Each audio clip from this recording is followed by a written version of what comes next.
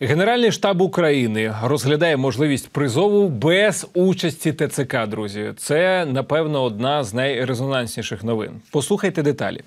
Тож генеральний штаб розглядає пропозицію щодо змін порядку проведення призову, згідно з якими командири військових частин зможуть призивати військовозобов'язаних, які виявили бажання служити без участі ТЦК.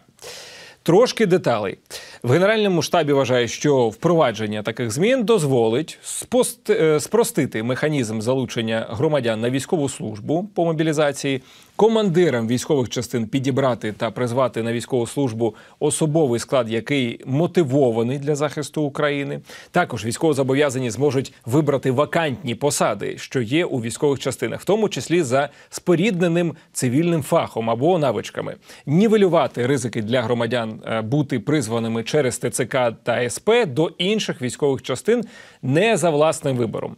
Е, Я нагадаю, до речі, за даними офісу генерального прокурора, за 6 місяців 2024 року правоохоронці зареєстрували 116 кримінальних проваджень за статтею е, 342 кримінального кодексу України про опір працівникам поліції та військовим.